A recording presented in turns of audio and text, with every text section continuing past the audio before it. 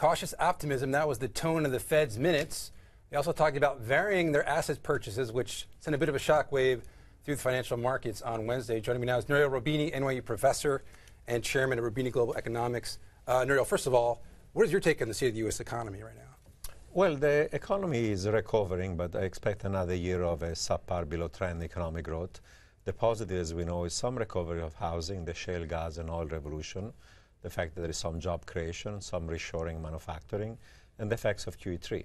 Right, so the growth, but subpar growth. Subpar growth, especially because those are the positives. The biggest negative is that the mini deal was reached on the fiscal cliff in January, already implies $240 billion of adjustment on the fiscal side. Right. We believe that actually we're going to go into a sequester. You do. So the fiscal drag could be something like closer to 2% of GDP. So since the economy has been growing barely 2% for the last few quarters, if you subtract almost 2% of growth, you're down to zero. Then you add growth because of jobs, shale, housing in Q3, and we get growth of 1.6% this year. This is mediocre. It's below trend. It's also below consensus in our view. Right. So, so the economy is going to remain weak. So you do think we're going to hit we're going to hit the sequester Yes, uh, absolutely. Have the have the markets prepared for that at this point? Or are they expecting there's going to be some last minute deal like we had on the fiscal cliff? Well, it doesn't look like there's going to be a last minute deal on the sequester. I think both sides are going to go into the sequester. The question is going to be how long the sequester is going to last. I think the markets a little bit blasé about right. the effects of the sequester because the two sides are so divergent about it.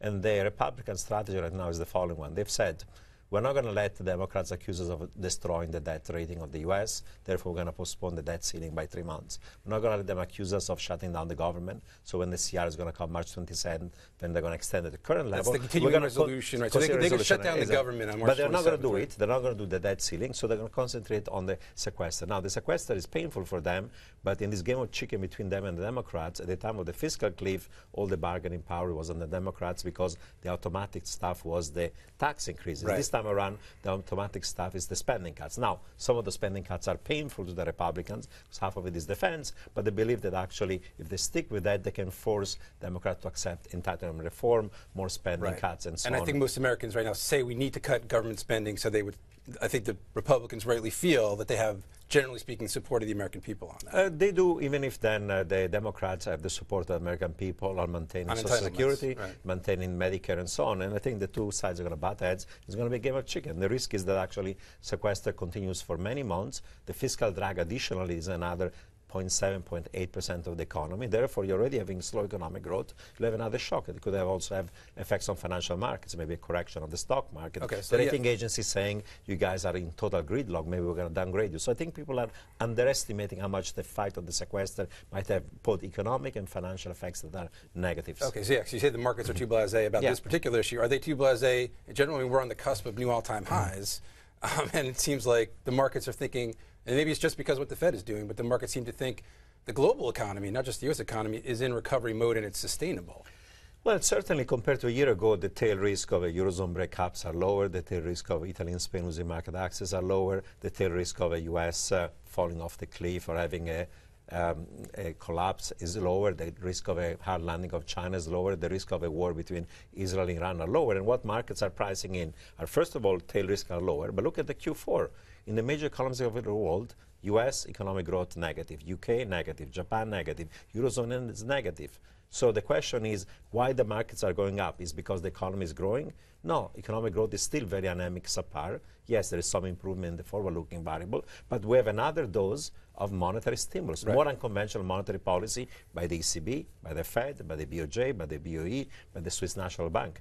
And the fiscal contraction, by the way, this year is not just in the periphery of Eurozone and UK core of the Eurozone has to do it, US has to do it. And the IMF has shown that when you have synchronized fiscal consolidation, the negative effects on economic growth are worse. So we start with low growth, with tail risk, with the fiscal consolidation, and what saves the day is another bout of liquidity chasing right. for so, so that's why when the Fed minutes say that, that the committee, quote, should be prepared to vary the pace of asset purchases, people start to think, huh, maybe they might pull back on their buying they're doing of treasuries and mortgage-backed securities. You've said that you yeah. think the quantitative easing program is, quote, misguided. Should they be doing more? Should they be doing less? what, what is your take on that? Well, my view is that actually, uh, since the economy is going to remain weak, since we're going to have low inflation below target, probably the current pace of QE is necessary and may even continue for a while.